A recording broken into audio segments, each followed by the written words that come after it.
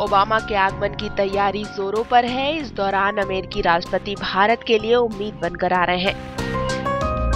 दौरे के पहले दिन अमेरिकी राष्ट्रपति और भारत के प्रधानमंत्री नरेंद्र मोदी द्विपक्षीय संबंधों के सभी पहलुओं पर बातचीत करेंगे और सिविल न्यूक्लियर और डिफेंस समेत प्रमुख लाइसेंस से सहयोग बढ़ाने के तरीकों पर चर्चा होने की संभावना है। यात्रा के दूसरे दिन ओबामा गणतंत्र दिवस समारोह में शिरकत करेंगे और बाद में मोदी के साथ भारत अमेरिका के सीईओ सम्मेलन में भाग लेंगे। अपने दौरे के तीसरे दिन ओबामा एक टाउन हॉल को संबोधित कर सकते हैं। उसके बाद मिशेल के साथ ओबामा ताज का दीदार करने आगरा के लिए रवाना होंगे। News point bureau.